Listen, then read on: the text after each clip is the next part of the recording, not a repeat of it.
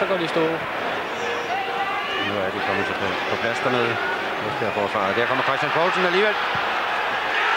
Og det er altså meget godt hug, for det er en meget svær vinkel, han får skudt fra det, og så ovenikøbet med det yderste ben, venstre benet. Det er måske det, der kommer bag på Martin Lars Jensen. Tager det hurtige bandespil der med Jønsson. Rykker fri og hugger. 9. sæson på.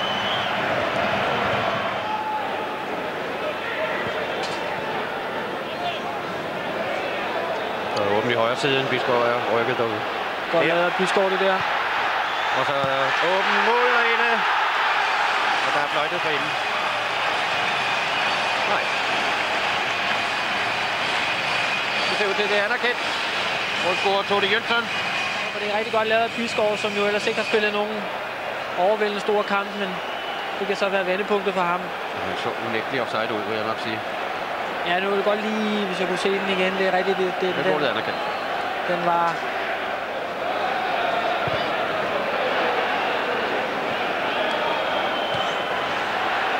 Og så Zuma. Og det er stadig 3-0.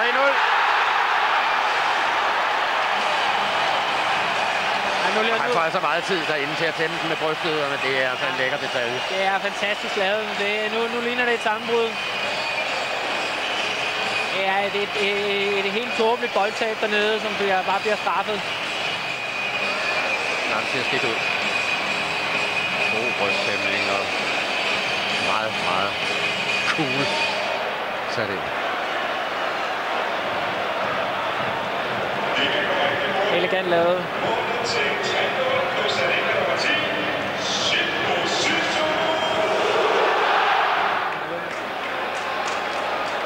Så er det Bisgaard. Jønsson, Bisgaard. Og så skal den være der. Og det er den også. Det tog 10-12 sekunder fra bolden var erobret, og til Bisgaard fik afsluttet og scorer sit femte sæsonmål.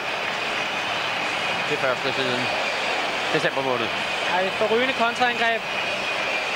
Han får front ned mod forsvaret, kommer op i fart, så er han utrolig svær at stå op. Vi har ikke set meget til det over på højre kanten i denne kamp fra hans vedkommende. Ej, vi har set alt for lidt til det faktisk. Ja. Men jeg synes, han har, han har kompenseret lidt for det i anden halvleg med, med en god aflevering ved det andet mål, og så, og så selv lave det her flotte mål, som man jo øh, er begyndt at snakke en del om. Jeg synes egentlig, de sidder der faktisk rimeligt allerede. Røl, han har fortjent at score på den der. Det blev stedet Zuma, men den havde han altså fortjent selv at score på. Et pragtmål, vil jeg kalde det. Det er et perlemål. Selv hvis det var gået ind direkte fra Røls side. Nogle helt vidunderlige tekniske detaljer, der går forud på det der. Men typisk Zuma, at han er derinde. Det var han også i søndags, da Christian Poulsen fyrede af på distancen. Så tager han kontraen. Fantastisk detalje for Rølle. Der ser vi, den, det er den sværeste del af det, det er den tæmning der. Og så den der lille dribling der. Så lige et par ekstra træk rundt, inden vi så får trykket af.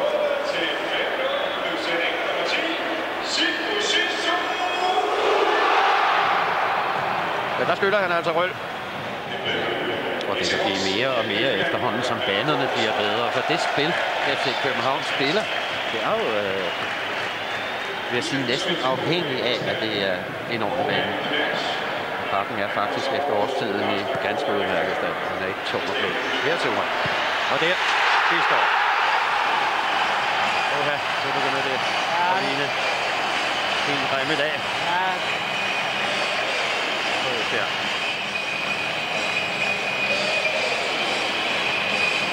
Mål 6. ja Det det, sit andet mål. det er en frygtelig øve til at løbe ind i. Men det der, det er i hvert fald godt sparket ind, det er helt sikkert.